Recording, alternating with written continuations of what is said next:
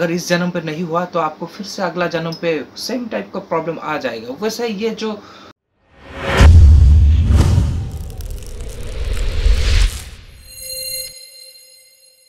Carrom Lulu pool पे आपका फिर से स्वागत हो। उम्मीद करता हूँ बहुत बढ़िया होंगे आप लोग।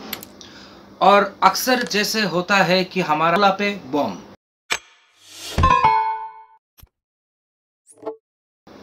फिर सत्रह पे बॉम्ब अब पे भी बॉम्ब और हमको लगा ये हो क्या रहा है? ये तो ये ये तो कुछ ऐसा हो रहा है जैसे जैसे मानी हाइस्ट का सीज़न फाइव पे आर्टो जैसे गोलियाँ, अंधाधुन गोलियाँ चला रहा था बॉम्बार्डिंग कर रहा था, ऐसा ही कुछ कर रहा था मिनी क्लिप हमारे साथ.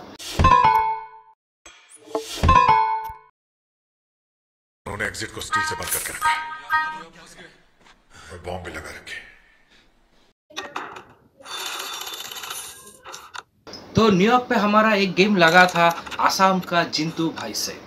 उनका ब्रेक था और बहुत धुआंधार गेम प्ले कर रहे थे और हमको मालूम पड़ चुका था कि उम्मीद तो है नहीं जिस जैसे गेम प्ले कर रहे। लेकिन लेकिन जैसे होता है अक्सर, उनका ये वाला पक फंस गया। थोड़ा सा फंस गया।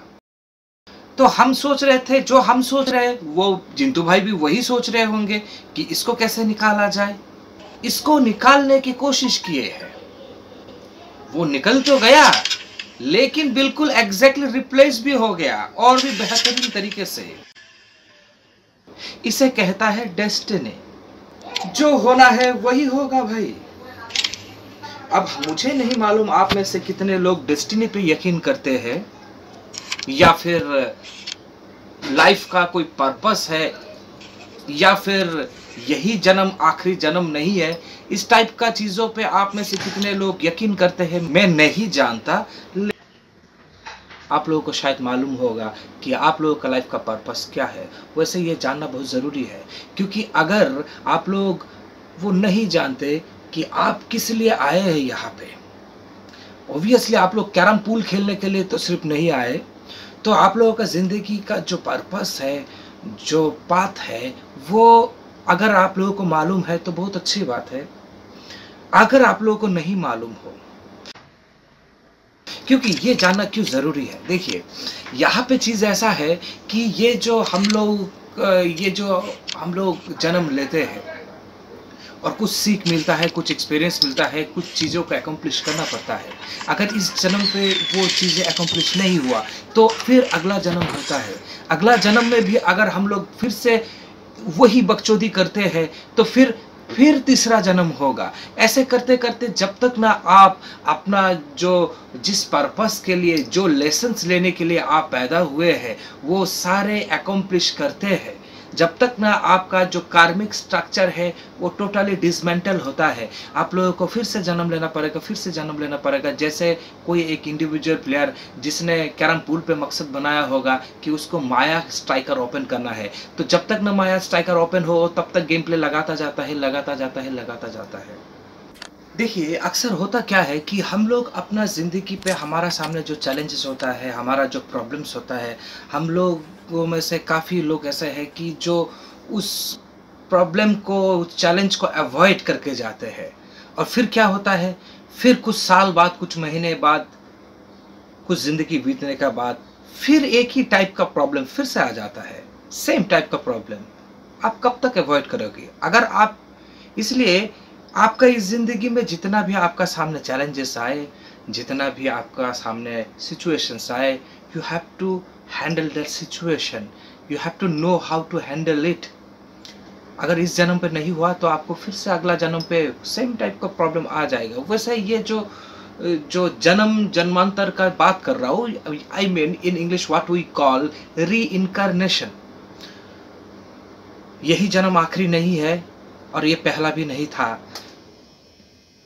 करंट चला गया, भाई लोड शेडिंग हो गया। वैसे ये जो री इनकारनेशन है, इसका तो ये ऑलमोस्ट प्रूवन है बिकॉज़ बहुत से डॉक्यूमेंट्रीज है, बहुत से इवेंट्स है, बहुत से ऐसे इंसानों का वीडियोस है डॉक्यूमेंट्रीज है, इतिहास में भी बहुत पन्ने हैं। लिखा हुआ कि जहाँ पे it is they proves that हाँ ये एक लाइफ का बाद, ये the soul remains same and this soul, we are just changing the bodies the soul remains same and वो बर्थ रिबर्थ होता रहता है। अगर आप लोगों ने अभी अपना ज़िंदगी का पाथ तय कर चुके हैं तो उन लोगों को तो मैं भटकाना नहीं चाहता। वो लोग उसी राह पे जाए।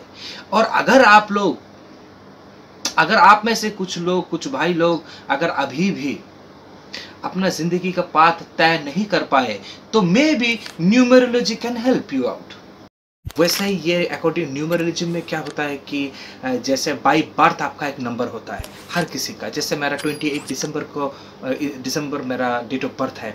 28 तो हो नहीं सकता, क्योंकि न्यूमरोलॉजी का जो नंबर है, वो वन टू नाइन तक ही होता है।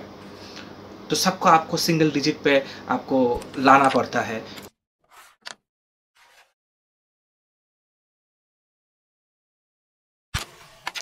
ये जो, जैसे कि मेरा 28 दिसंबर को मेरा बाई बर्थ मेरा डेट ऑफ़ बर्थ 28 दिसंबर तो 2 प्लस एट इक्वल्स टू 10 फिर से टू टू डिजिट हो गया तो 1 प्लस ज़ीरो इक्वल्स टू 1 तो ये 1 हो गया बाई बर्थ मेरा न्यूमरोलॉजिकल नंबर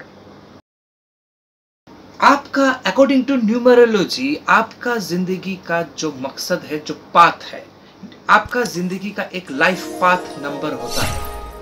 तो वो लाइफ पाथ नंबर अगर आप जानते हो तो शायद आप अंदाज़ा कर सकते हैं कि ये जो जन्म आपने लिया है, इस जन्म पे आपको क्या चीज़ें एकम्प्लिश करना है? ताकि आप फिर से अगला एक और जन्म लेके फिर से बकचोदी ना करें। कोई भी नंबर अच्छा नहीं होता, बुरा नहीं होता, ऐसा कुछ नहीं, हर नंबर का एक विशेषता होता है। मान लीजिए, आप में से किसी का जो डेट ऑफ़ बर्थ है, वो है तेईस मई 1995 तो उससे हम लाइफ पाथ नंबर कैसे निकालेंगे? ये बहुत ही सिंपल है। हर एक डिजिट को, हर एक नंबर को आपको बस प्लस करता जाना है। मे का एक नंबर होता है कि मंथ का पहला जैसे जनवरी होता है तो मे हो गया पाँच नंबर तो फाइव प्लस तेईस, अब तेईस को प्लस नहीं करना टू प्लस थ्री करना है। फिर plus one plus nine plus nine plus five तो वो कुछ आता है थर्टी नंबर न्यूमरोलॉजी में क्या है? तीन एक्सेप्शन छोड़कर थर्टी को आपको सिंगल डिजिट पे लाना है, क्योंकि थर्टी नंबर नहीं एग्जिस्ट करता. वन टू नाइन पे आपको लाना है. तो इसलिए three plus zero equals to three तो ये थ्री हो गया आपका life path number this is as simple as it हाँ यहाँ पे एक तीन एक्सेप्शन है. अगर आपका जो टोटल ये 30 का जगह पे अगर 33 आता है या 22 आता है या 11 आता है तो उसके लिए आपको 1 प्लस वन या 2 प्लस टू या 3 प्लस थ्री नहीं कर रहा। ये जो तीन नंबर है these are master numbers they are very very special and very rare numbers जैसे एल्बर्ट आइंस्टाइन का नंबर जो है टोटल वो आता है 33 जैसे बैराक ओबामा का जो डेट ऑफ़ बर्थ है, अगस्त फोर 1961 तो वो टोटल आता है 29 अब 29 को 2 प्लस नाइन तो होता है वो 11 बहुत ही रेयर नंबर्स है। जो तीन है, ये कैसा नंबर है? ये एक ऐसा नंबर है इट इज़ वेरी क्रिएटिव वो जो पर्सन होगा, जिसका लाइफ पाथ नंबर थ्री होगा he will be very creative kind of a person उनका जो इमेजिनेशन होगा, वो बहुत ही अच्छे इमेजिनेशन है बहुत ही वाइड इमेजिनेशन कर सकते हैं। तो उन लोगों के लिए जो पेशा सुइटेबल होता है mostly it will be like designer हो गया या फिर सॉन्ग कंपोज़र हो गया। या फिर सिंगर हो गया, इस टाइप का क्रिएटिव जो टिंज है, उस टाइप का नंबर है। वैसे अगर आप गांडू का पूछेंगे तो मेरा जो लाइफ पाथ नंबर है, वो है सात सेवन तो सेवन का क्या है? ये जो सेवन नंबर है, ये according to numerology the life path number अगर किसी का सेवन हो तो क्या होता है कि जैसे मैं हूँ तो he is a seeker he is a seeker of knowledge उनका बहुत क्यूरियसिटी होता है। तो जिस वजह से वो बहुत कुछ जानना चाहता है तो बहुत नॉलेज गेन करता है, थोड़ा बहुत विजडम गेन करता है और वो सिर्फ़ वहीं पर रुका नहीं रहता। वो अपना विजडम दूसरों का साथ भी शेयर करते हैं। इसलिए they are a kind of bond gurus अब मैं खुद को गुरु तो नहीं कह सकता, लेकिन हाँ बहुत क्यूरियोसिटी तो हमारा है। तो वही है तो उन लोगों के लिए जो पेशा सुटेबल होता है, वो होता है जैसे कि मान लीजिए स्टोरी टेलर हो राइटर हो डायरेक्टर हो, उस टाइप का है। अब हर एक लाइफ पाथ नंबर का अकॉर्डिंग टू न्यूमरोलॉजी अगर मैं डिटेल्स में बात करने जाऊँ तो ये वीडियो करीब एक घंटे का, एक घंटे से ज़्यादा का हो जाएगा। यहाँ पे जो लाइफ पाथ नंबर्स है, वो टोटल में बारह होता है। One two nine and eleven twenty two and thirty three तो हर एक नंबर, ऐसा नहीं कोई नंबर अच्छा या बुरा नहीं होता। हर नंबर का अपना विशेषता होता है। आप में से आप लोगों को अगर जानना है कि आप लोगों का जो लाइफ पाथ नंबर क्या है तो फॉर्मूला हम बता चुके हैं और उस नंबर का जो विशेषता है, वो इट इज़ वेरी इजी आप गूगल सर्च करेंगे यूट्यूब पे सर्च करेंगे life path number seven life path number eight या फिर लाइफ पाथ नंबर नाइन या फिर 22, 33 या 11 जो भी हो तो आप उसको गूगल सर्च करेंगे। बहुत से वीडियोस पड़ा है बहुत से ब्लॉग्स वेबसाइट्स में बहुत इन्फॉर्मेशन है। आप कर सकते हैं। अगर आपको वो भी नहीं होता तो आप कमेंट पे बता दीजिएगा आपका लाइफ पार्ट नंबर क्या निकला है।